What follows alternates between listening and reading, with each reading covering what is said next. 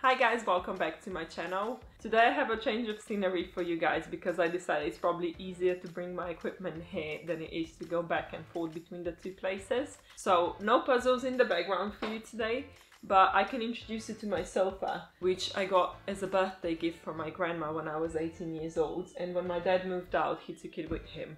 So that's basically mine. Like, I still claim this as mine, even though my dad has it for like, I don't know, 10 years. I really like this sofa. It was basically a perfect fit for my room. But anyway, let's talk about the puzzle now.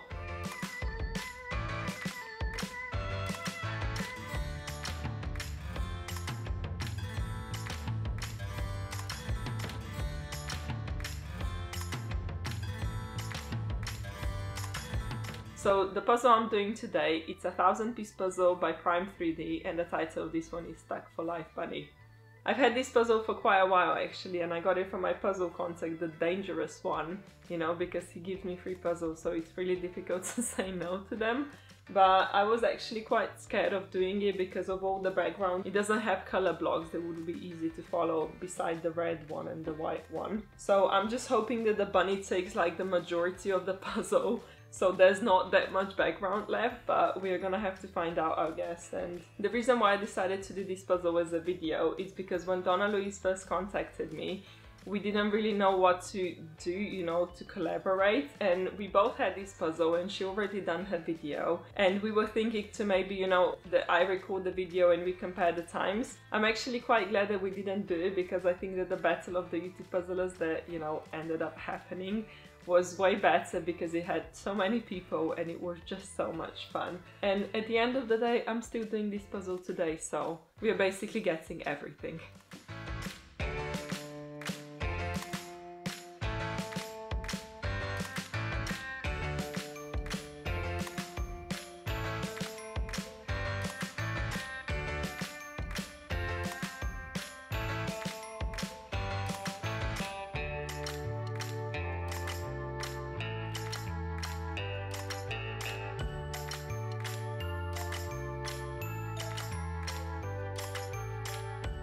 I wasn't really sure which technique to use for this puzzle because I always do the full sort, then I do the frame and then I start building.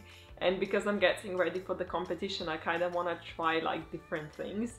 So I wanted to do like build as you sort and I was going through the box and like eliminating pieces and then I was like oh scrap that I'm just gonna find all the red pieces I can find and you know start to put the t-shirt together from the bunny and I'm scrambling through the box and collecting the red pieces.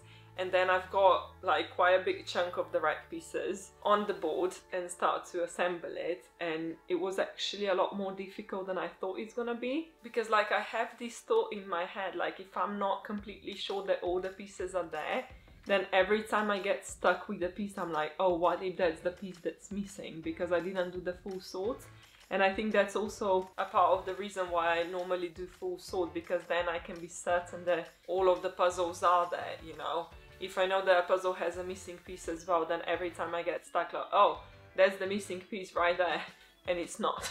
In the majority of the cases it's not, but like every time I get stuck I'm like, oh, that's probably the missing piece and I think that's the reason why build as you sort is kind of difficult for me unless it's like a really obvious like pieces that connect together. And I'm not really sure if this technique is gonna work for me, but you know, I wanted to try anyway. Like I'm gonna try all different techniques from now on because like I just wanna be ready for the competition and see what I can actually do and be good at. But it was quite difficult to start with the t-shirt because I had no idea like the size of it. I didn't even know where to begin with. So it was like, yeah, definitely not my proudest moment, let's just say that.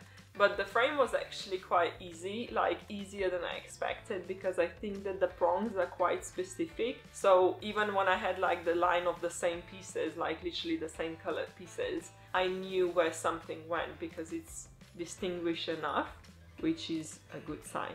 And I think I've done two of the Prime 3D puzzles before with the same quality pieces. It was the Paris one and the Canada Day one. And with both, they had really dark sky and the shape of the pieces really help when putting the sky together so hopefully with this puzzle as well that's gonna be the case.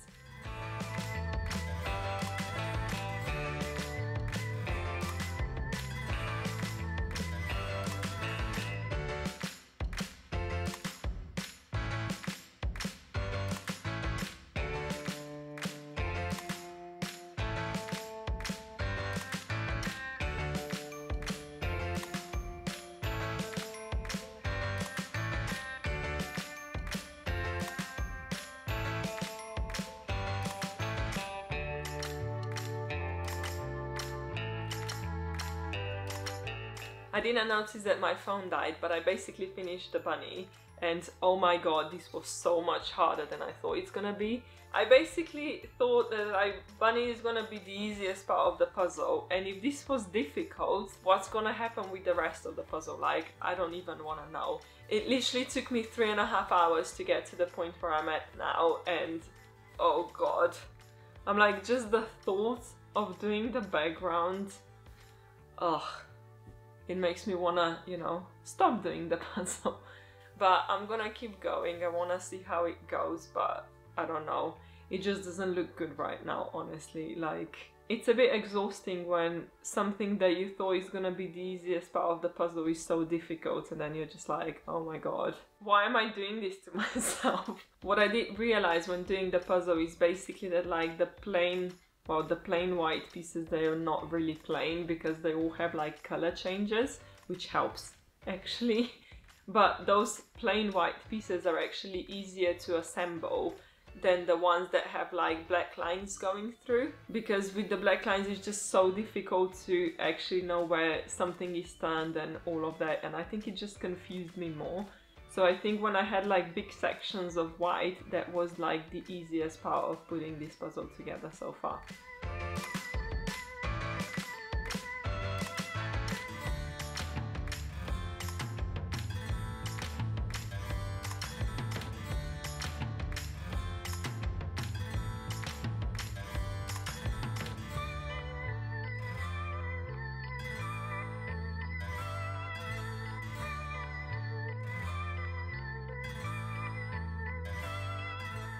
Okay, I have to admit something. I was definitely wrong about this puzzle. The bunny is not the easiest part of the puzzle. From what I've seen so far is like the background is quite a lot easier and it probably has to do with what I was talking about earlier like when there's no lines going through it's actually easier to know where the pieces go because you can see like a slight change in the color and so you've got some textures on the wall as well so so far I've been doing a background for an hour and I think I've done quite a lot actually. And what also helps is that obviously I've got the frame going around I've got the bunny so it kind of like separates the sections. And then on one side you've got the chains going down and on the other side you've got the pole coming down. So everything kind of breaks the background a bit. So it's not like you've got a full open space. And another thing that I've noticed with this puzzle that actually really helps is you know which direction the pieces are turned and that helps so much because like as soon as I saw one piece and I saw that it's elongated, I knew it's not gonna go horizontal. So that's something that definitely helps.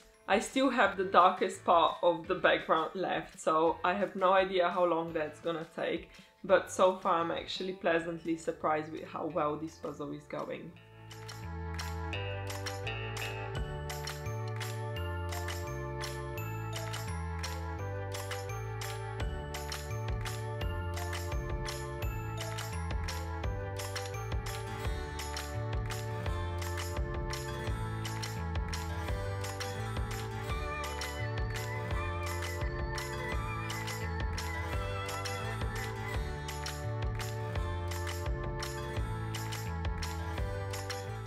I must say that I'm so pleasantly surprised with this puzzle, like I genuinely have no words for it. Probably because my expectations were really bad and I finished it in just over 5 hours which I think is a really good time for a thousand piece puzzle but I think what made it seem a lot easier is the fact that I prepared myself for this puzzle to take me at least 8 hours and more and I think because I had these high expectations and I finished it so much quicker, it just seems like it was so easy. I don't know, but it happened to me before that I had a puzzle that I thought is gonna be really easy and then it just took me forever to finish it. And I think that the puzzle wasn't actually difficult, it's just because my expectations were so high and then I didn't meet them, it just made it seem more difficult. So I think the same thing happened with this puzzle but yeah it's actually done and I know that expectations can make a big difference when doing a puzzle and there is one puzzle that I got before I even had my channel and I got it because I thought it's gonna be really easy to assemble and let's just say that my expectations were completely wrong. So if you wanna see how I did it or not do it, just watch this video up next. Bye!